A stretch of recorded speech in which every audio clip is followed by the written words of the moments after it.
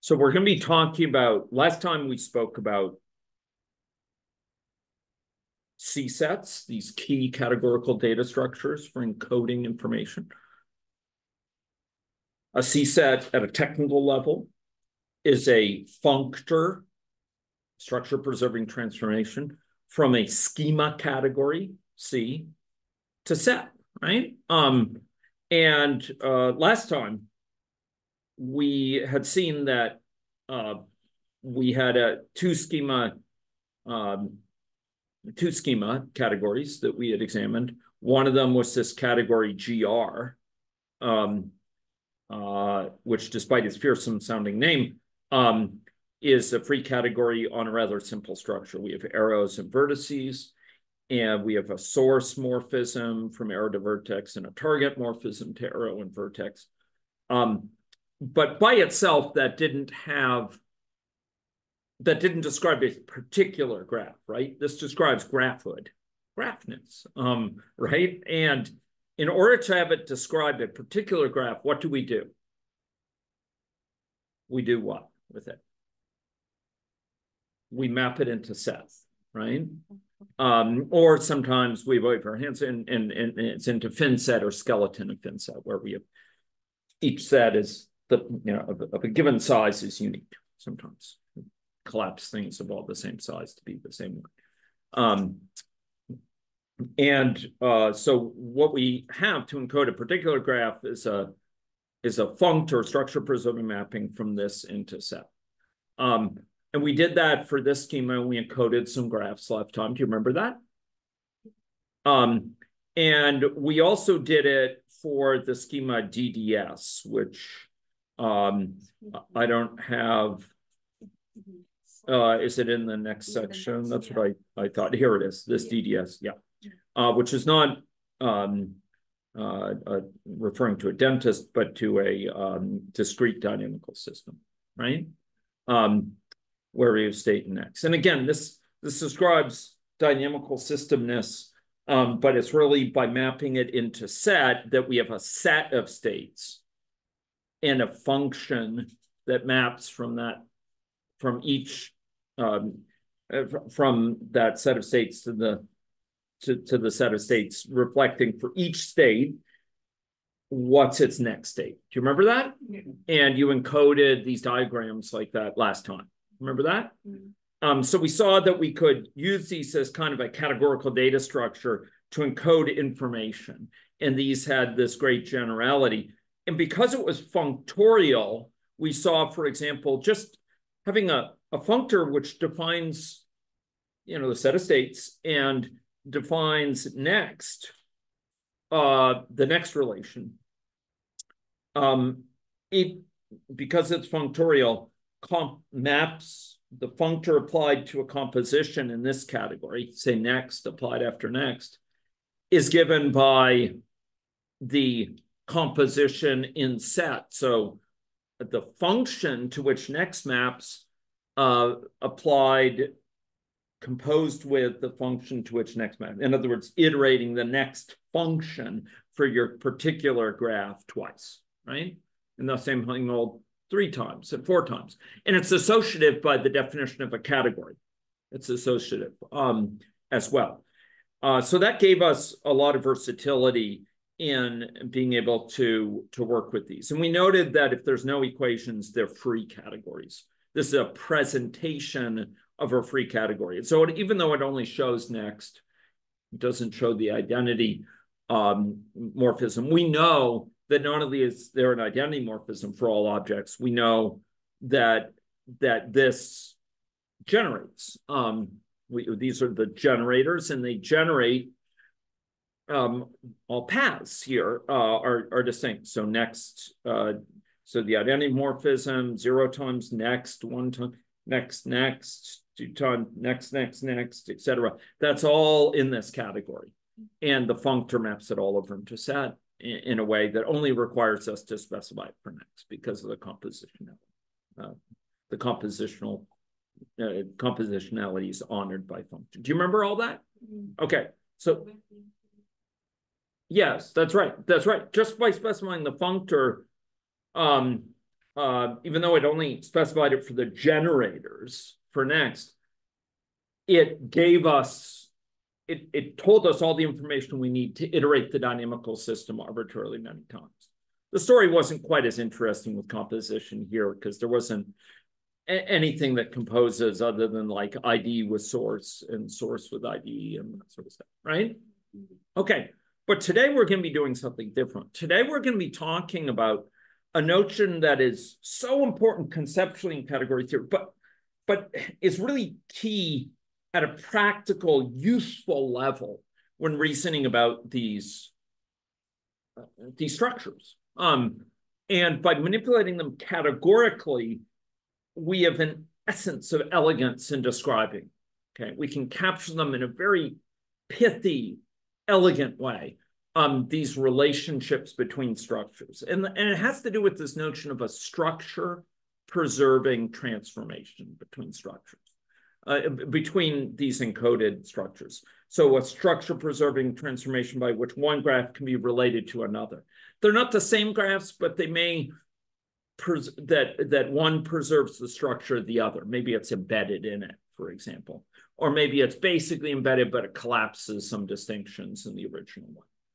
Um, this is what we're going to be talking about today, and it may sound very specific to graphs, but um, don't don't get confused about that. While it will apply to graphs, it will apply to many other structures as well. It will apply to stock flow diagrams. It will apply to state charts. It will apply to structures associated with dynamical systems, et cetera. This notion of sort of homomorphism, of, of a structure preserving mapping. Um, uh, and it's going to be both elegant, very practical, and useful. And it's going to be really useful in things like stratification. Um, it's and uh, another variant of it. Um, so the dual of it will be useful uh, in some other other contexts as well. Okay, with like uh, pushouts, sticking things together, etc. Um, and um, we're going to see that this notion of homomorphism is really useful when we talk about the structure of dynamic models, right? Remember, we talk about structure determines behavior mm -hmm. in dynamic modeling.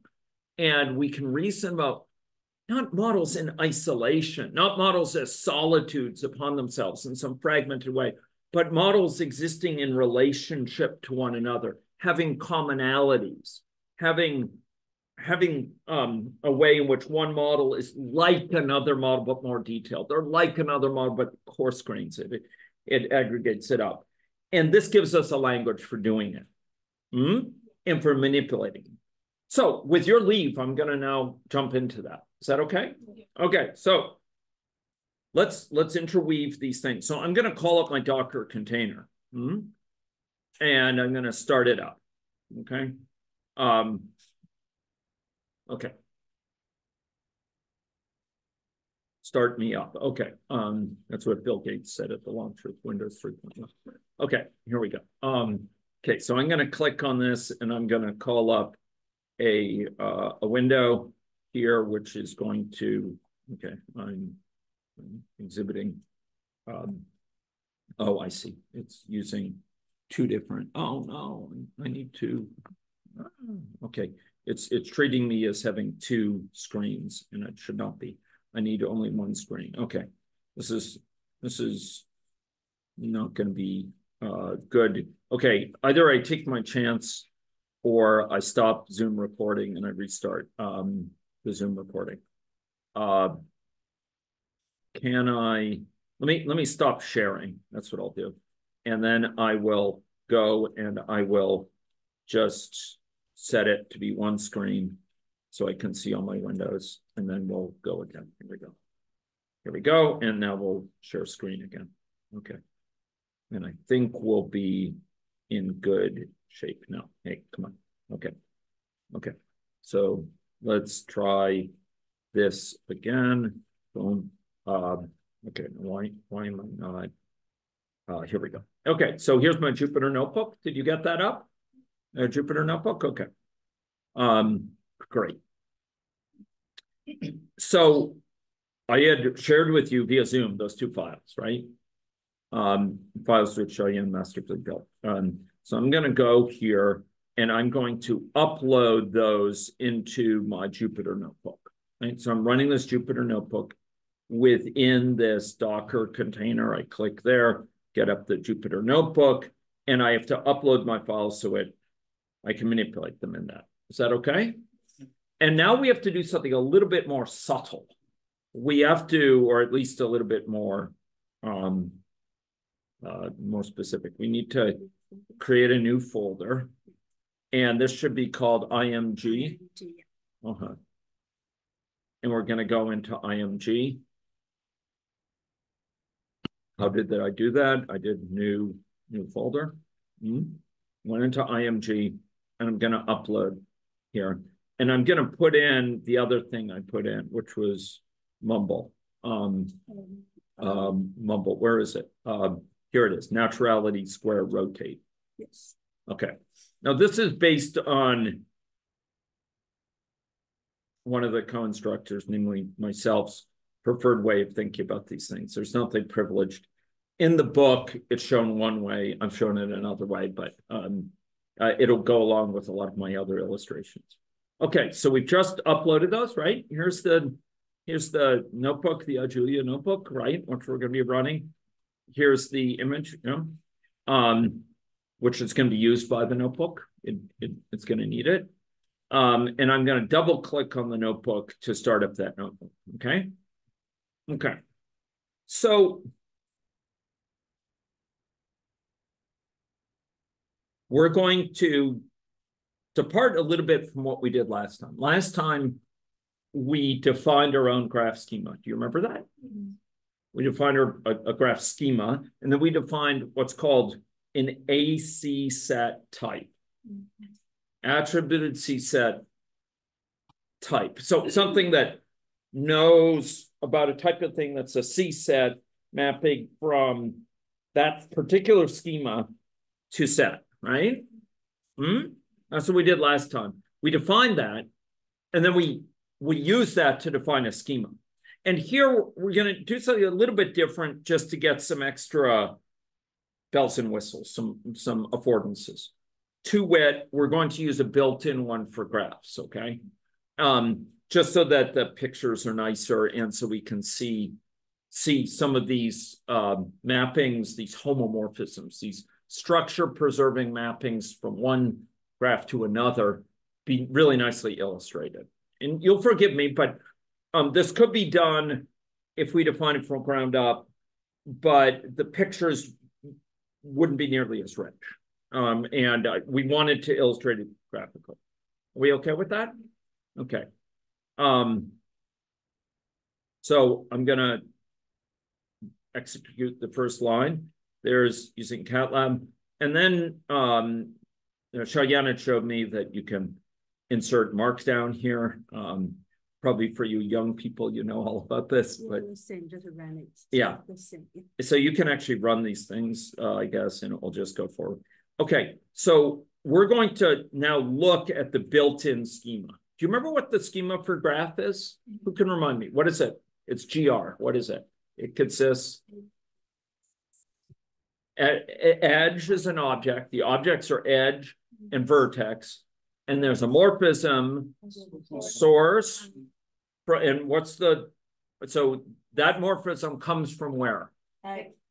Edge, edge. And it goes to vertex, yeah. Right. And and and and yeah, and there's a target one. That's then there's identities. For every object, there's identities, right? You remember me today that a student say the state like in the stock flow, the paragraph says stock is uh, vertex. that, that's right. that's right. Um, so, uh, okay, so we're going to visualize that schema as built in by by um, um, by CatLab. Do you recognize that? Yeah. Okay, should be pretty familiar, right? So it's uh it's one of these. It just knows extra well how to display that, um, how to display instances. So can we go create a, a little graph with this, just building on our memory from last time. So you tell me, this is the AC set type here for this. Um, wh- what is this graph gonna be? You tell me what's in this graph. Well, look at, look at the declaration of the AC set, of the, uh, the C set. So this is a mapping from this schema to set, right? Or to kind of skeleton, set. Um, and how many vertices does it have? Three vertices. Three. How many edges? Three. Three. And tell me where the edges, each edge in turn, tell me its source and target. How about edge one? One to two. One to two, two to three, and three to three. So what, what would it look like kind of as a graph? Yeah, like one, two, and then the last one, well, oh, so one to two, two to three, and then three to three, right? Okay, so let's, let's bear that out. You ready? So that's how you read this, right? This is, remember, sources of, eh, source is gonna be mapped over to a function. Source, uh, uh, this source is a morphism in, s- in the schema category. So, so when we map, remember, each morphism in the schema category gets mapped to a morphism in, in set. And what's a morphism in set? It's a function, and this defines the function, right? And it's a function from what? That function over in set that's mapped to by source, that function maps from what to what? Uh, uh, well, okay, it's called source. Um, the function is called, so, so we map it over into set, but that's a function and it's a function maps from a set as input. Uh, the domain is a set and the codomain is a set. What's its domain? What's, what's the set? Source. Set of sources, domain, and codomain, codomain is a set of targets. So this is a, this maps over to a function. I think the domain is uh, the vertex. and The domain is, vertex. the domain is edges, right? Right? Yeah, edge to vertex, because it, source goes from Okay. edge, so it maps from the set of edges to the set of vertices, yes, right? Yes, mm, Hmm, mm, yeah. right? Um, so remember, a functor, just as review from last time, a functor maps objects in the, in the source category, a functor from category C to category D, in this case, from this category to set, maps each object in the source. So, so each object in the, in, in, in here in the schema to a set, right? So mm-hmm. there's gonna be a set of edges of size three, a set of vertices of size three, right?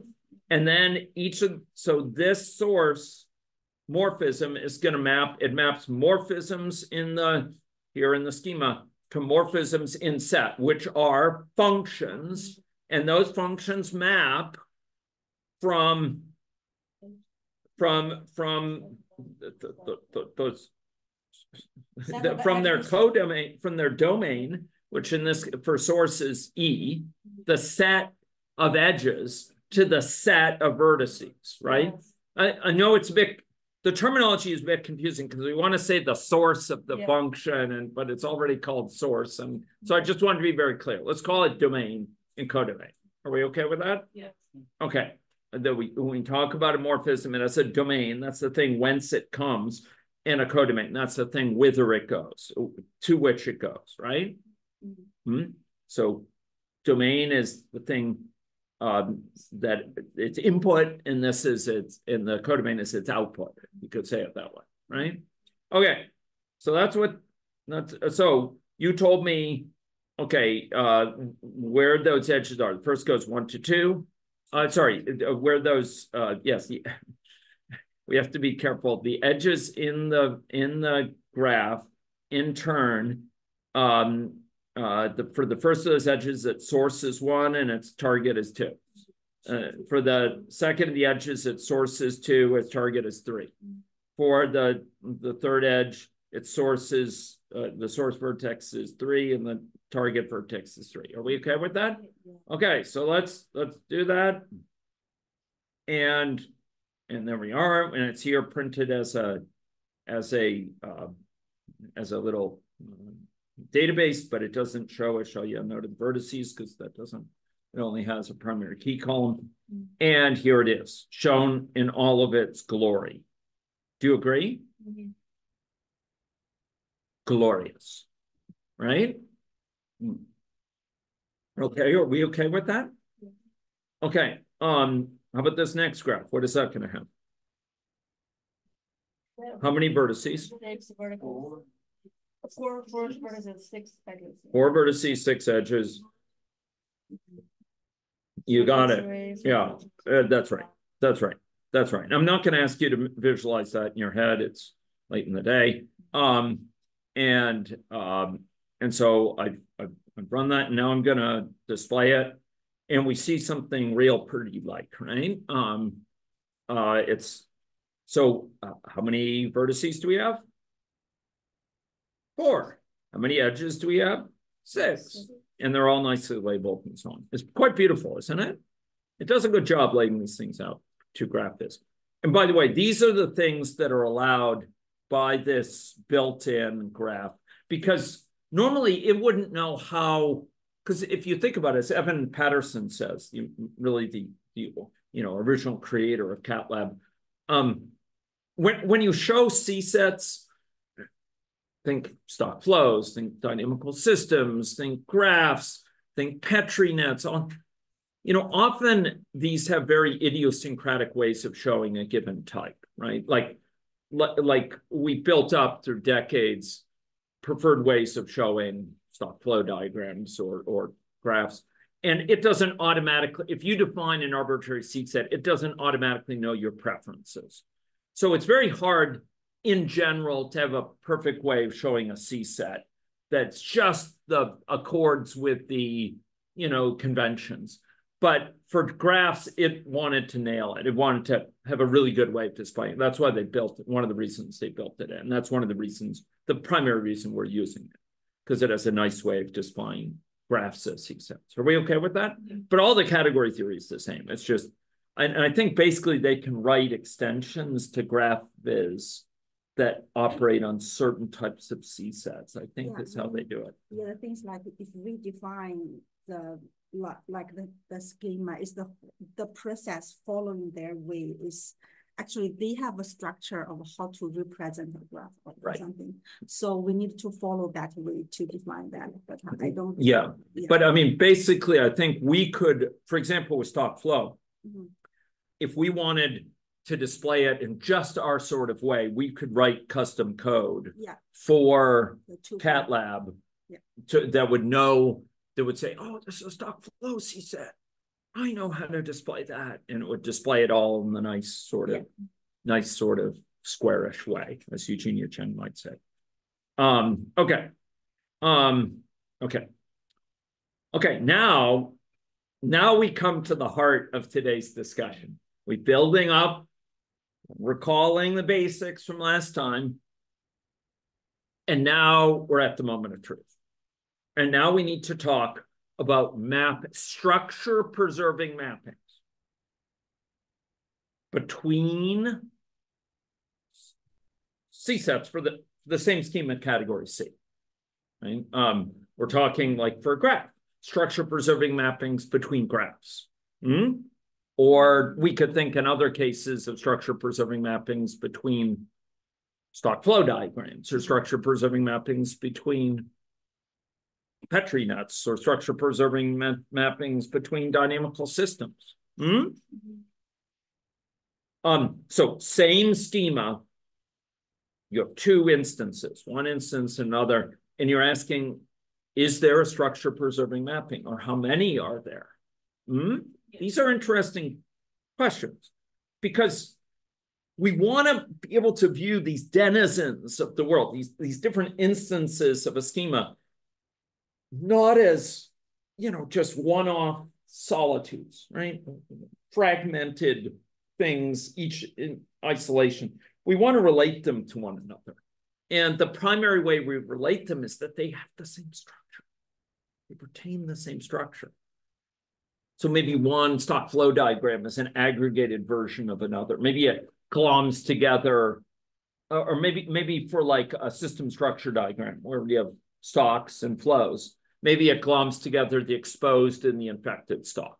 Mm. Or maybe it gloms to it sticks together asymptomatic infections and symptomatic infections, just gloms them together.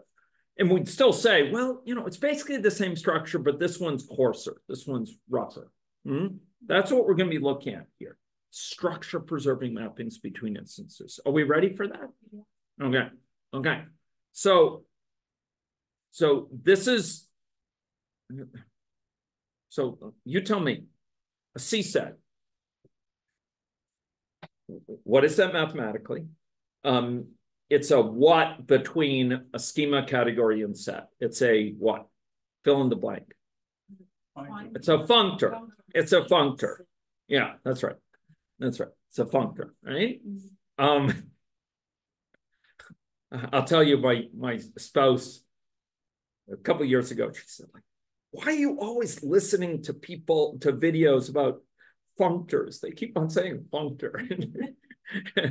and uh, she's very she's Yeah, very like, aware of the my friend, significance of Why, why watch the videos about uh, the, from uh, like Evan or uh, other Yeah. people, my boyfriend said, what is functor? What are you Yeah, and so studying? so so these are functors Yeah. from from schema category to set, right? Yeah.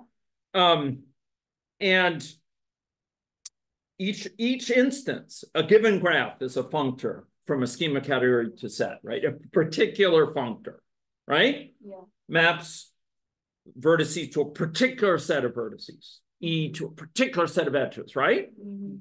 And source and target to very particular functions specific to that case, right?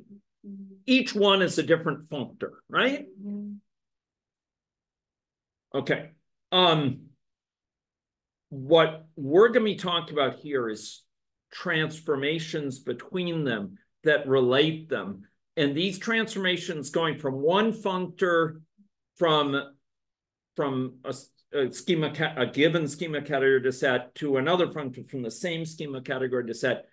A, a, a functor, a, a mapping between them, the preserved structure is called a what? A mapping between natural transformation. natural transformation.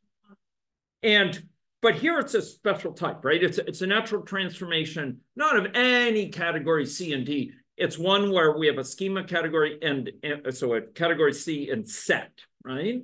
So it's called an AC set transformation here. And it's from this graph to this graph, right? They're for the same schema. That's very important, right? We're, we're not doing something wild like like having a like having a you know a mapping from a stock flow diagram to a uh, to a you know a petri net or something like that. No, no, no. Um, we that that's a later topic not not now, right? Um, uh, here we're we're we're going to be that would be like a data migration functor. um, uh, but here we're doing between two graphs. Are we ready? Yeah. Okay, now let's learn how to read these. Can we do this? Okay, can we do it? Mhm. Okay, so here's graph graph A, graph B. Hmm? And now we're we have to say something about how they're related. To try to preserve the structure. Yeah, yeah, to, to preserve the structure. Now, I, I want you to recall that graph A has how many vertices and how many edges? So for each vertex, we state the vertex of graph B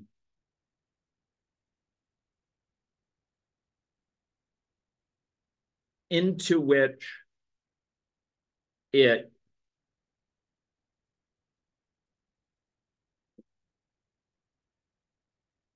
into which it goes.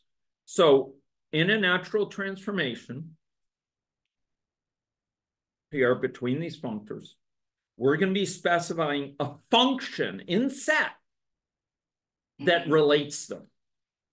That says that that says the vertex number one in graph in graph A, which vertex does it go to in graph B?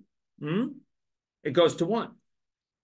Graph vertex number two in graph A, to what vertex does it go in graph B? Two. Mhm. This one uh, for vertex number number three and I'm saying three because it's the third position here. In graph A, to what vertex does it go in, in, uh, graph B? Three, and the same thing for each of the edges, okay? Um, uh, now I, I want, I want to remind you a little bit at the cost of, of showing some, some slides here, um, uh, about, about this issue and, and now, now I'm in trouble. Okay, not that one, Jenna, not that one. Um, okay, um, not this one either. Okay, where's, where are my slides on natural transformations? No, not this one. Okay, now, now I'm in, now I'm in, in real trouble. No, no, no, no. Where, did- where did they all go? Okay, now I'm in bad, bad shape. Is it, are they up here? No, no, okay. So, oh, I saw it. I saw it for a second. Okay, here we go. Here we go. Why is it sitting up in an outward space? Okay, I'll get down here. Get it down. Okay, there we go.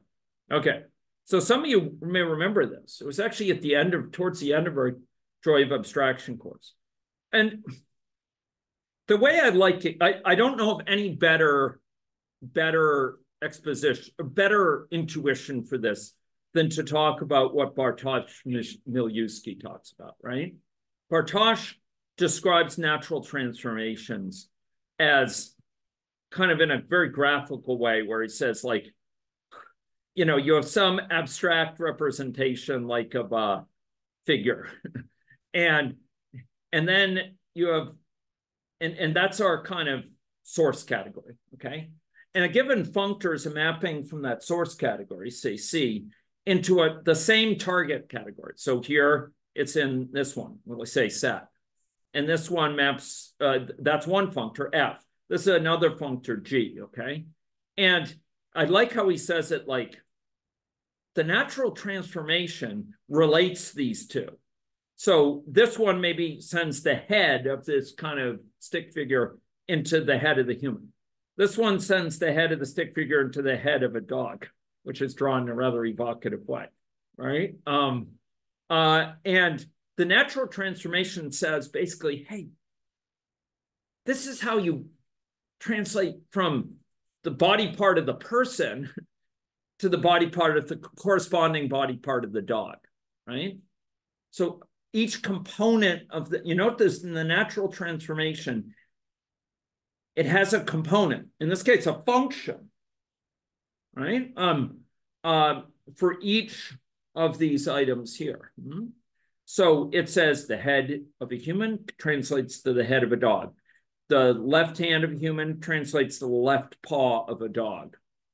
The right leg of a human translates to, I guess it'll be this one, translates to the right or the right rear leg of the dog, right? Um, so a natural transformation kind of relates where something goes under F to where it goes under G, functor G. Do you get that idea? Mm -hmm. It kind of says for, for each thing mapped to where it goes from F, what's the corresponding thing for G? Do you get that idea? Yes. Um, and, and in functional programming, it's it's kind of a similar uh, idea. So, you know, F sends things over and to, to, to targets, this is where it sends A, this is where it sends B. And the natural transformation is that kind of mapping. It's sort of Rosetta Stone that says, this is how you translate an F thing, an F of it to a G of it. Do you get that notion? You could also think of it as like uh, in maps or or something like that. Anyway, I thought I had some nice pictures, but I, I guess okay. Um, okay, so let's go back to our little little exercise if we can here. Okay, now, now I'm in, in trouble. Okay, um, so uh, how do I? Here we are. Okay, so this is saying this is saying from where GA where uh, for vertex one for GA, where it sent, you know, where where GA sent vertex, um, it has to that it sends it to to vertices one, two, three. For each of them, it has to translate it into the corresponding one in uh, G, in vertex in G. This says how to translate each of where GA sent the edges into the corresponding ones in G and GB. You got that? Yeah. So it's this Rosetta Stone. It says how to translate it in the language of GA to the language of GP. Hmm? If we, if here we, uh, we wrote and, GFA. What's happening? Sorry, if you said, And, we, here. oh, G of B and GA? Well, we're gonna see that, we're gonna see some, what will happen, okay? Down Indeed, indeed, let's, let's go, let's go. Now, the point is, we're talking about building up understanding, but the incredibly powerful thing is Catlab and Algebraic Julia are, are categorical computing platforms. So they can do a lot of this reasoning for us. We're gonna just see how it relates to the, to the core reasoning. Are we ready? Mm-hmm. Okay, so we're gonna define this natural transformation, right? It's a natural transformation for these functors, which are from a C set. That's why it's a C set transformation. Um, and we'll get to attributes. Okay. And now we're gonna plot it out. And this is due to Sean Wu, um, my esteemed colleague at, at Merck. Um, he added this thing to Catlab. Now this is shown kind of upside down from, from this case. But what it shows is, so what is this thing here? What is this here thing? Can you tell me? What is, okay, but what, what is this lower box? Uh, You know, one step at a time. What is this lower box? It is out GA, GA, this is GA, right? GA, yeah, Okay, but what's this top one? GB. GB. And what do you think the dotted lines say? I think no one may have been getting at it. Uh-huh, Yeah, but, uh, map of one, each, uh. yeah, Each Yeah. corresponding to yeah, exactly. It says how to map the vertices here to the vert, right? Where the head of the human maps to the head of the dog, right? Mm, Where the right leg of the human maps to the rear right leg of the dog, right? Right? Yeah. Um, and the tail of the, you know, well, never mind. Um, right, um, uh, the, the coccyx, um, of the human maps, the tail of the dog, okay? Um, okay, um. Okay, um, and what's not shown explicitly, but here we can read off.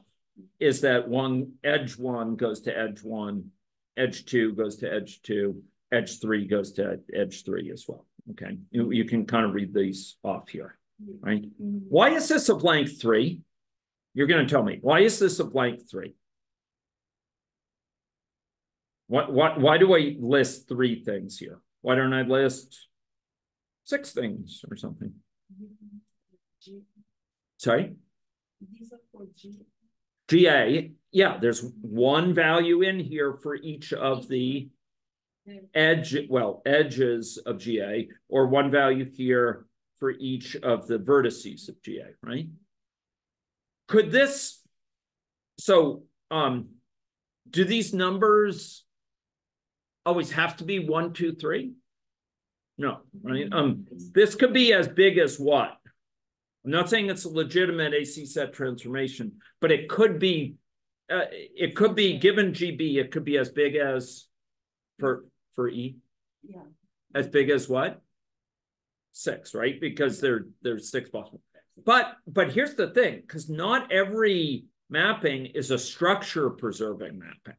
So we have to be careful here, right? And that's what we're going to be exploring together. But this is a graph homomorphism. This is a structure preserving mapping, right? And we're going to explore this. Here, we have preserved, it's like we've embedded. Do you see this? This structure in this. Do you see that? Yeah. Like we have, we, we've retained, you know, the, the ordering here, right? Here, this goes to this, this goes to this, right? Just like we preserved the basic structure, the human in the dog, right? We have the like left arm, the right arm, the four, four, or the four legs, the dog, right? Right? Um, we preserved the basic likeness of this in here. We've kind of embedded it, right? But we could actually do more than that. Like we could collapse things down. And we're going to explore this more. It's a little bit more subtle.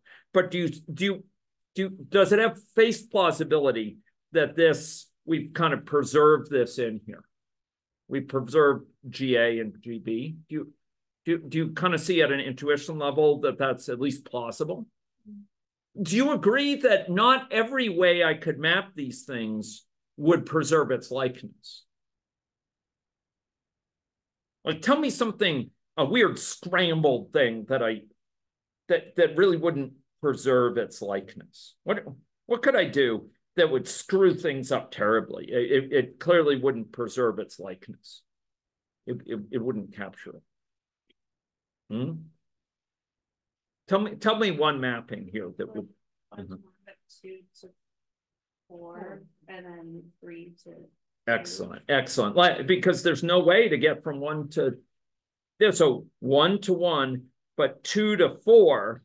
Now we need some way of going from one to two, but we don't have a way of going from one to four to, to, to the, to what they map to. Right? Do you, do you see that? Or if I made one map to three and two map to four, then it, it- you can't get there from here, right? Do you see that? So what I'm saying is that this notion of natural transformation is actually a very strong notion. It may look trivial here, but it's actually it- it's actually quite quite deep and, and you can't just scramble them in any old way. It's not that any old mapping will preserve it, that this is just, you know, um, that that you can be loosey-goosey and, and map it in. No, no, no. Yeah. The way that's worked was not an accident. And uh it and and it requires us to think things through. You know what's a legitimate mapping? Do you get that? And the the criteria for this are captured in this diagram. And i'll i'll post my slides here but um uh you know for the criteria the naturality condition basically is going to relate these um uh, these mappings okay so it's it there are these naturality squares that need to be matched. Now, these are showing the naturality squares for this particular case. Okay. Um, and in general, it's a here, if we consider um a morphism like from a from the head to the hand, right? Either we can map it over to F, do that there, and then map down with the natural transformation alpha. So head to hand in F, and then map down. We get the left paw of the dog. That has to be the same as taking the head, that's FA, performing the natural transformation on that, getting the head of the dog, and then mapping to its paw on the dog anatomy. We have to get the same result for these to be viewed as as a for this to be viewed as a structure preserving mapping alpha it's natural transfer. To be natural it has to preserve that. Do you get that? Mm-hmm. Okay. Okay so let's talk about it for arrows and vertices. Can we? Mm-hmm. Is that okay?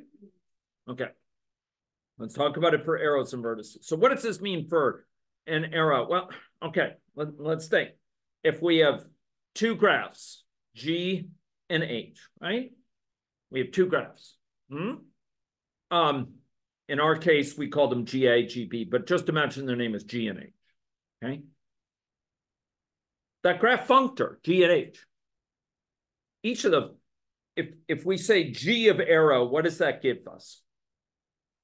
The set of arrows, right? For a graph G, right? And G of vertex gives the set of vertices, right?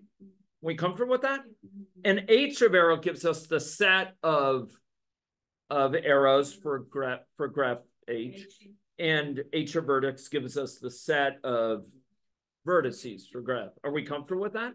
Okay, so for the for these two graphs encoded by G and encoded by H, for those to have this homomorphism between them, the structure preserving mapping between them, alpha, we need the Rosetta Stone. We need the way of translating the head of one into the head of the other, the hand of one into the front paw of the other. Do you get that?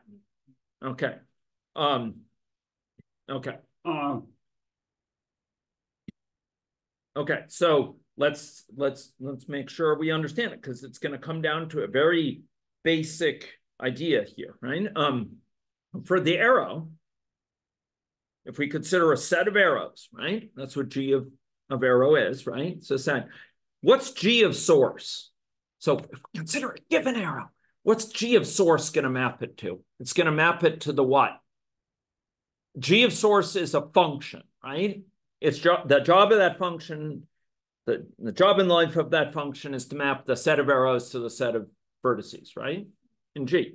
Um, so if we take a given arrow in G and we hit it, we, we, we ask what's G of source of it, we're going to get a given what? A vertex where it starts, right? Where that arrow starts. We can't get the, the source of that arrow, right? Where it starts. In G, in G, right? And if then we map it over to H with the natural transformation, we see where does this, where does that vertex go in H, right? That has to give the same result for it not to be scrambled in some weird way. That has to give the same result as if I started with that that that arrow, uh, that edge in, in, in G, and I mapped it over to the corresponding edge in H, and then I took its source. Do you get that? So, so we have to preserve the source of our arrows. If we said this arrow goes to um to this guy here, right? Um um uh this guy here to to to to this area here. It has to be that we map the the source of that arrow over in a way that's compatible with that, right? After all, it has to map over to four, right? If if this arrow one goes to this this arrow six, it has to be that its source goes to, to the source of that. Do you get that? Yes. Um, so we can't just willy-nilly, you know, just map these things over um, in some scrambled way. It's not like we can map, oh, vertices totally separate from edges. They have to go together. It has to cohere. It has to, it has to be consistent, right? And that means we need to meet this condition. If we take the source of an arrow in G, that has to map the equivalent of that in H has to be the source of, of that equivalent arrow in H, that equivalent edge in H. Does that make sense? Yes. And the same thing for dest, the destination, right? We, we need to map these things in ways that are that are consistent, right? Do, are you comfortable with that idea for the, for our case? We can't just say, well, one is this guy, but you know, one that arrow one here, or call edge one here, goes to edge six. So if this is G and this is H, edge one, we can't just say, well, one will go to six here and vertex one will go to this guy. No, that would be crazy. Like a, it's nonsensical. It's incoherent, right? It's it doesn't hang together. It's not consistent. For it to be a homomorphism, a structure preserving mapping, they need to follow. Do you get that? Yes. Mm. Mm. And sometimes things can come out of this that aren't aren't obvious. Like you might think, well, you know, um, um, maybe we map one to three and two to four, um, and we map one to six. Well, that would violate it because then we don't have the source of this guy lining up with the source, the equivalent to the source. So I like to think of it as kind of a Rosetta Stone, but I also like this, right? Especially like how we drew the, the more sense, yeah. Yeah, that- and- so so it's like um this you know the the, the vertex in this graph um uh so so the edge in this graph if you consider its equivalent edge in the other graph they have to share the compatible sources right um you you have to map the sources and the vertices in ways that cohere in ways that are consistent and if you ask about the source of an edge in G um, and where that maps to, it has to map to the same thing as considering the equivalent of that edge in H and taking its source. It all has to hang together. Can you kind of consider it, Mm. Um, right now in two fourteen, we're trying to convince students that when they learn a new programming language, they're not learning a language like English to French, but rather a different dialect of English. Mm. Could you consider it like that? Oh, that's interesting. In a way, yeah, because, well, at least these are from the same uh, schema. Yeah, But I will say this, there will be, as we'll see, there'll be cases where there's no, like, these two things don't have a homomorphism between them. There, there are cases like that where you can't, you know, there, there's no direct word for it or something like that, um, or there's no direct translation, right? Um, uh, okay, so, um, so we just asked, is this natural? It is natural. It, it matches, so in in um in Catlab, it knows how to check naturality. Yeah, so, yeah, so that is natural is a built-in um function in Catlab. Yeah. Yeah. And and then there's here we're we're actually checking these things, we right? Um uh explicitly, right? Um if you perform uh the source uh or if you if you perform the source in G and then you map it over to H, it has to be the same as performing the source uh in or mapping the arrow over an H and then perform or mapping the over arrow to H and then performing the source in it. Right? And I mean, think back to Eugenia Cheng's description. We we want it to be well behaved, right? If it didn't meet this, how could you say that they're that they're compatible, right? And that they they just don't preserve that structure. It's scrambled in some weird way, right? Um, and and Xiaoyan beautifully gives this code which does this. So we have alpha vertex, and you notice that each of these says, okay, for this, okay, you can perform, you can map over to, so this is saying where each of them is mapped to, each of the vertices is mapped to, and we can take the source of each of those. Alternatively, we could um, uh, here, and oh, and this is the the right. So okay, so so here we're um, mapping over uh, do, do, do, the rights. Okay, help me show you in here. Oh, Um, sorry, uh. Yeah, yeah. So Yeah, the, the, uh, I, I think I should see is left. So that is in the equation. Oh, sorry, that's the right. So so Yeah. that's the right side. that this is this Yeah, one. yeah, So it, it's, it's, um, yeah, um, and so you're using this, you're, you're using this mapping on G source, you're composing those functions. yes, so the G source, it Yeah. is say like we, yeah, Yeah. w- yeah, it's like we start from the edges, all edges of the, of the, of the uh, graph A, because of the, the graph A is the functor J. Right. Yeah, then the G source give us all, all the source uh vertices of the graph Right, JA and H, yeah. And then alpha vertex map all those source vertices to the vertices in H. in H, and that's Yeah. what's expressing this thing here. Yes, And then you go through and you the left. you you do the left side of that Yeah. and you're basically asking does the square commute because that's what we're looking for Yeah. here we're looking does this commute? That's what the check mark means. You could go either this way or go this way and you get the same results. Um and um and you know here that's what's expressed in these naturality squares that that oh it's not shown here but That's there's a only the left one, yeah, uh, there's there need this needs to Yeah. commute. Yeah. so there's that we could put a plus next time. Yeah.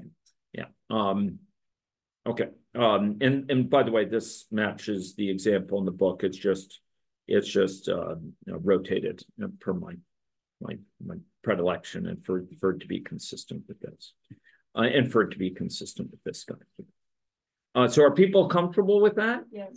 Okay, now, um. Similarly, here's the right-hand side. We, we need to check that it hold, this was for source. Now we're, we're checking for target and we're asking are both of them true, okay? So we, we were just checking there, those naturality squares. Hmm? Um, we're just checking these things commute. Uh, for all morphisms. All morphisms F in the source category. What is the source category here? Sanity check. What's the source category?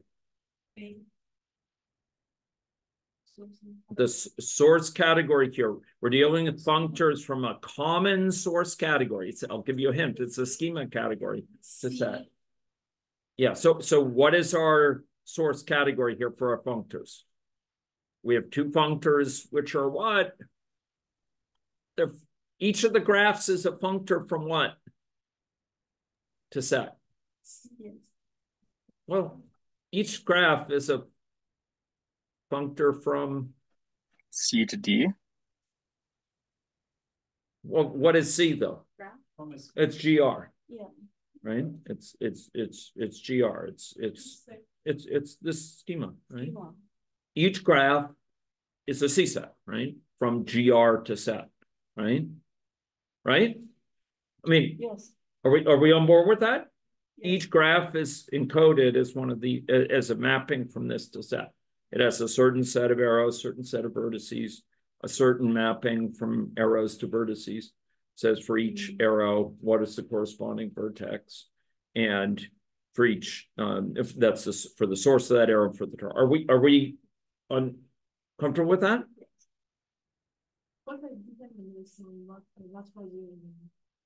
Well, my meaning is that for each, so we have a common category here, right? GR, right? Each functor is, is GR being mapped into set, right? And the naturality condition, for it to be natural, to have a natural transformation for any morphism over here in the source category, in this case, for source and for target, those are all the morphisms over, or all, the heteromorphisms over, all the non-trivial ones. This is there from A to B, we want to map to the set. Yes? Yep. Uh, no, no, no, uh, please, uh, come back to that. Yeah. Oh, oh, oh, And we morphism from A to B. right, so Yeah. C here is GR, right? Yeah. This is set, right? Yeah, this is the set. And that is, um, well, we're calling it here F, but it's source. And, and I'm saying, uh, or F is target. Hmm? Um, and all I'm saying is, this shows the general case that for any morphism over here, in this case in GR, for every morphism, it has to be that it's got, you've got this translation, this Rosetta Stone, this consistent way of translating func one functor to another, uh, the functor F to functor G. In that case, we say we have a natural transformation between them. And that's why Xiaoyan in this code is beautifully checking, is this natural? Do both these naturality squares hold? And we have to hold, have this hold for every morphism in this source category in GR, and the two morphisms in GR are arrow, uh, sorry, uh, or, excuse me, are, are the two morphisms are target and source. That's why we're checking. Does the naturality square hold? Do we have a way of translating, you know, from from the head to the to the hand? Do we have the way of translating from the head to the pinky uh, or the head the head to the left foot from the head to the right foot do we have a way of translating that's fully consistent for every one of those source morphisms? So if there have been three heteromorphisms three morphisms in this thing from this we would have had to make sure that it holds for all of them. Are you comfortable with that? Mhm. okay. Um so Um, so we, we're checking this and, and she's going very carefully for each of the squares, going very carefully through each of the conditions and making sure this is true. So right now this is for source, but after that she'll do it for target. Are we okay with that? Mhm. Because it has to hold for every morphism in, in here. And, and that's a very strong condition. a very strong condition that we have this like Rosetta Stone for going from what people look like to what dogs look like. Do you agree? That's a really powerful thing, right? You say, oh, that nerve in a person. It goes to this nerve in the dog. That's a really powerful thing. Do you get that? That's a really powerful thing to have that. Okay, now the beautiful thing is, as a categorical computing platform in Catlab, I like this. Automatically from the, the homomorphism. it can find the homomorphisms automatically, Yes. automatic, automatically. Um, Yeah, right? Um, so here we go. Um, we say, tell us all homomorphisms. Tell us all mappings. Let's, let's be clear what this means.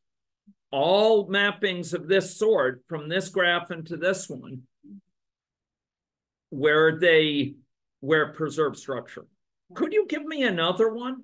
Could you just try to come up with with another one that that might might hold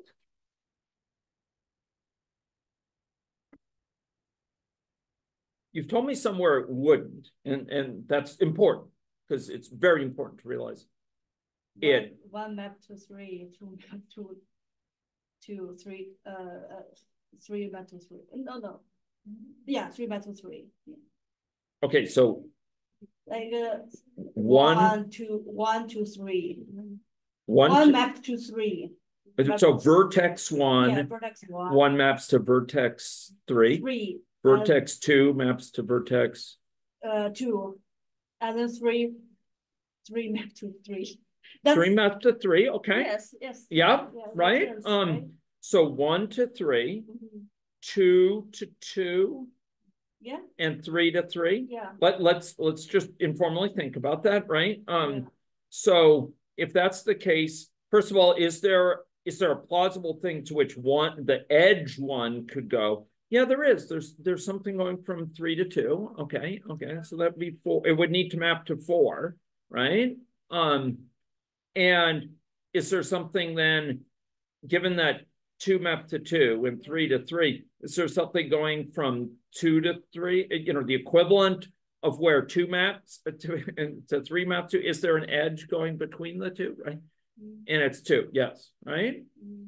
Um, it- so there could be um, that it preserves the source in the target vertices, yes. So the edge three in the, um. Mm, the Ah, yes, yeah, it's edge that three. Map to the identity still? Well, the thing is that there's no Um, identity in this Mm, graph, I yeah. think the thing is, it mapped to identity, I, I think the thing is like the function has to be, the morphism of three also has to be like, like. so it's like- So- co- Yeah, so what I Yeah. know is, cause the identity is mapped to, Mm. Yeah, it's, it's. You yeah. mean by identity, you mean the self? No, this is Edge? not That's not identity. an identity. That's not an I was- identity, I was yeah. wondering, it's like I was wondering if I could map it to identity, then I could put three to one.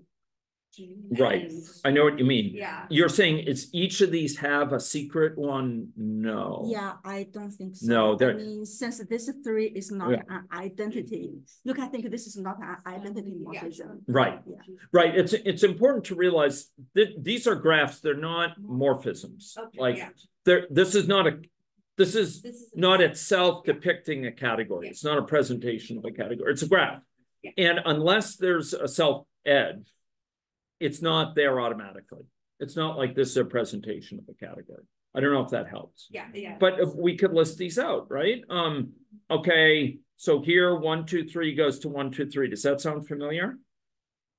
So as you, as as what you said, then three must, must map to three. Cause three have the Right. self Yeah, and. That three Yeah, can and then- only go to three. And look at that. All the- Look at that. All of the threes, they, they, they, they, so, so three, three always will go to three. But the others can go to different ones, Yujia, right? Yes. Um, and let's go, you know, we can look at these and kind of try to grok it, but we could draw them out, right? Take a look at this. Do you recognize this one? That's the one we've been dealing with. Let's go to the next. by the way, you notice we're just indexing into those set of homomorphisms, right? We, well, all we have to do is call homomorphism and we, here's another one, right? Right? Um, so this one goes to this one, this one goes to this one. Oh, wait a minute, it's showing it upside down. Yeah, it's, it's arbitrarily. Okay, Yeah. So, so one goes to three, two goes to two, and three goes to three. I think Yujia said that before. That was what Yujia said, right? Okay, let's, let's, let's check this one out. Can we do it? Um, so here's three, one can go to two, two can go to two, and three can go to three. Notice all, as Yujia pointed out, three has to go to three because there's no other with a self loop, right? Let's check out four. Here we go. One to go- to, wow, that's a nice curved arrow. Look at that. Pretty slick, eh? One goes to three, two goes to three, and three goes to three. Hmm? Why is that? How, can that happen? Where do you think arrow one maps to? Remember, this is showing where the vertices map, but the the edges here in this graph have to map to things consistent with that, right? That preserve the source and target. So where does one, what edge does one match to? Much too weak.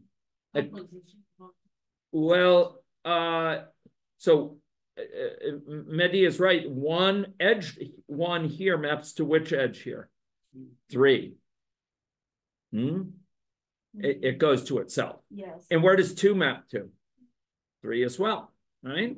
Um, and in fact, you can kind of read it off up here if you were see edge, it could all go to edge three. Okay, this is the list of where edges go to, right? Um, cool or not? Cool. I, I think I think it. I think it's the cat's meow Do you think or the dog's meow. Um, okay, okay. the dog's bark or something.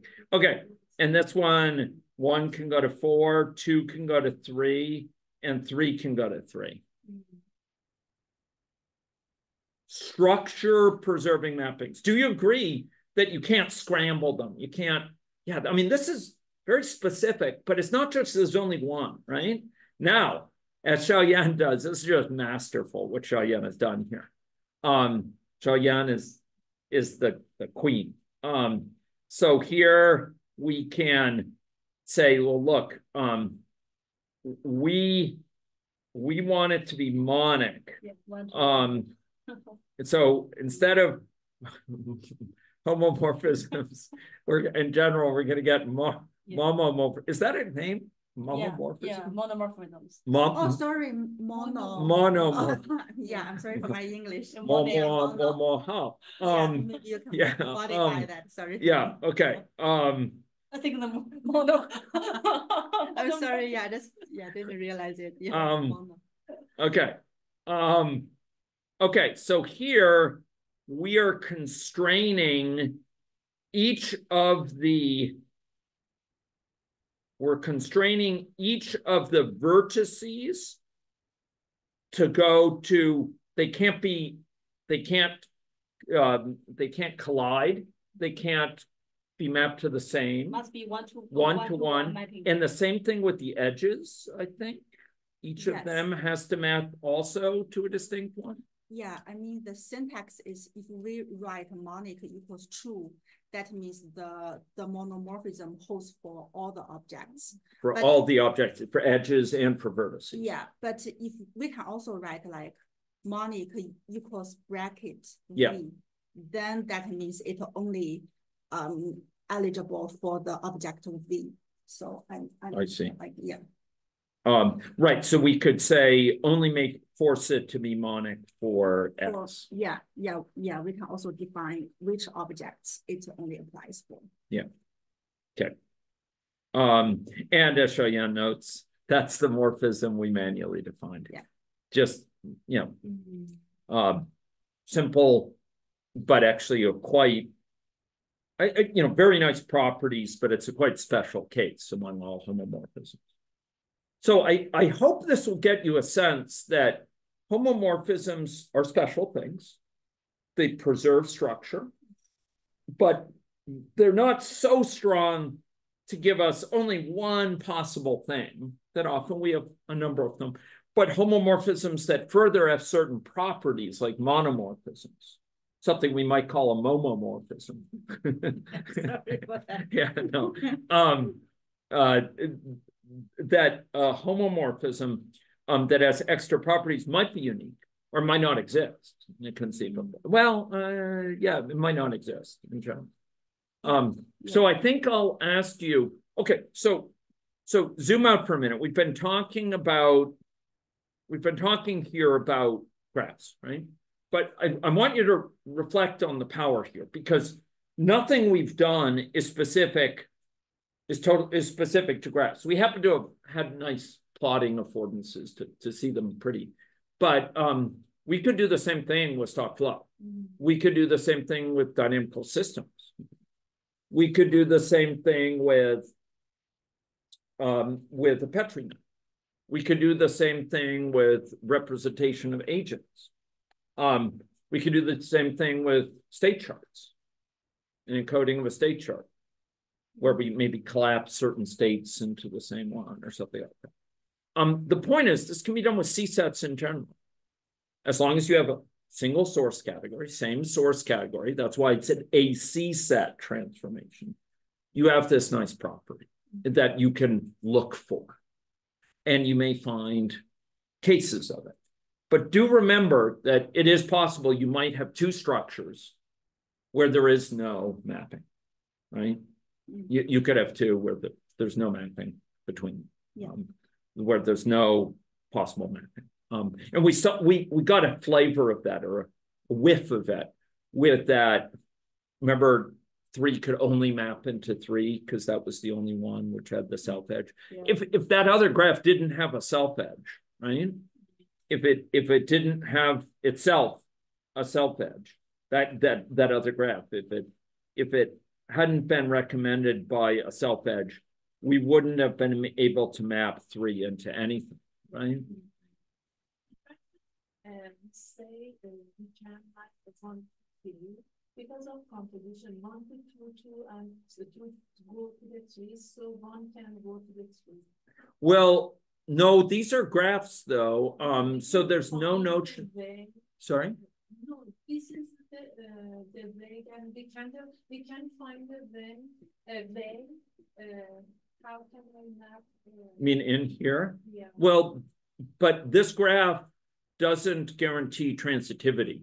This this is not a category. Yeah, I mean, this is only a Yeah, graph, was so that's same, mistake. yeah, yeah, that's same. This is like a very specific graph, like it's an example of a graph, not a category, Yeah, so. This is the So we way can't that you collapse- can collapse say, um, um, How can I, um, uh, how can I map, for example, how can I find a map of one to three?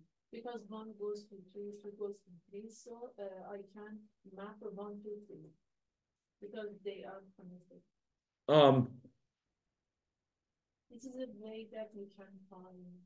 well, uh, uh, but in general, there there's no guarantee for a graph structure that transitivity holds. So, and and, it, and we're not dealing with a category. I I think we'll have to discuss that more because I have a meeting in two minutes. So, um, we're actually over time here. So, but I hope this is useful for getting you to think about homomorphism, these structure preserving mappings.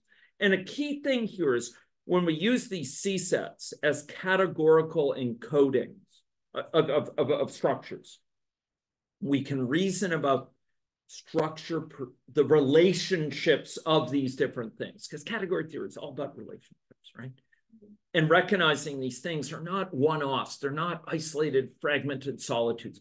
They have relationships between, but not everything is related, you know, to each other. Not not everything. There may be two things that are incompatible, but we we can recognize different ways in which they're related, like by asking for all the homomorphisms between them.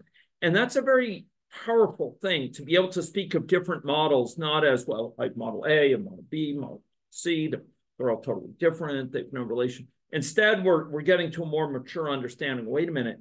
There are these families of models and relationships between models and ways in which they're related. And that's, that's very powerful indeed.